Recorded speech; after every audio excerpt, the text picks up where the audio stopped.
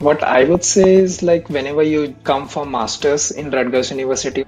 you should have a goal whether you want a good job uh, or you want to learn or you want to go for a PhD. If we have know that what kind of career path we want, then it becomes a lot easier because when you let's say you want to study a lot, you want to learn new subjects or you want to go for a PhD. So the approaches become different and when you want to go for a job a high paying job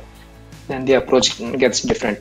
And another point uh, i would say is like it happens that like people tend to get up interviews people tend to get internships pretty early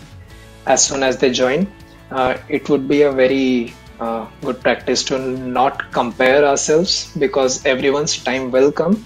and I have seen that the most talented people also get internships even in late April or May.